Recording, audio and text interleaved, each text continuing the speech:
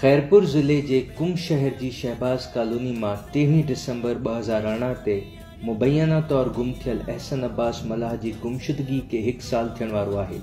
पर नौजवान जी मुबैना गुमशिदगी अञा ताईं सवालिया निशान बणियलु आहे अहसन अब्बास जे वालिदु ग़ुलाम हैदर फ़रियाद मल्हह जी फ़रियादी ते सिंध हाई कोर्ट नोटिस त ज़रूर वरतो हो ऐं नौजवान पंहिंजे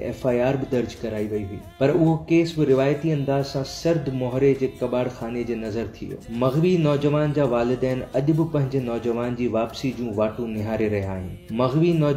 वालिद ऐं वालिदा आई जी सिंध पुलिस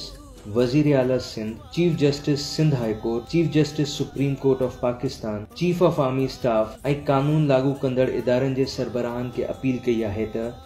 अस आई जी सिंध पुलिस वज़ीर आला Sindh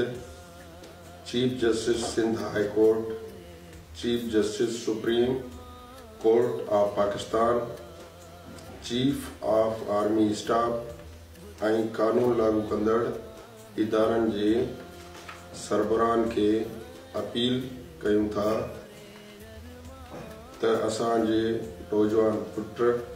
एसन अब्बास मल्ला के बाजे आप कराए बारह महीना तो जो पुत्र घूमती आ ॾाढी ॻोल्हा कई आहे किथां ख़बर नथी पए असांखे को बि सुकून न आहे ॾींहुं राति पवंदा बचे खे किथां ॾिसूं